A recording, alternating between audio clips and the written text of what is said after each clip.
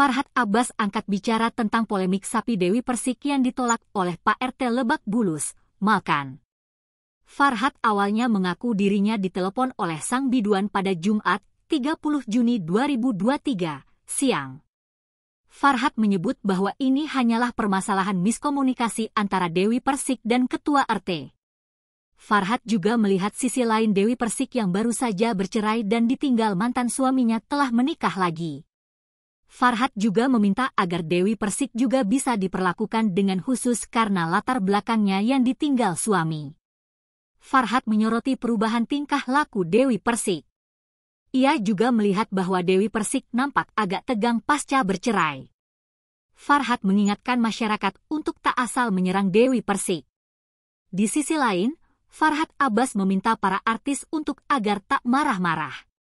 Bahkan Farhat Abbas menuliskan perilaku marah-marah hingga teriak-teriak dinilainya seperti orang gila.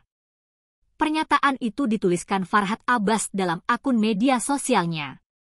Menurutnya, para artis harus memiliki perilaku yang bermartabat dan bisa menghargai orang lain.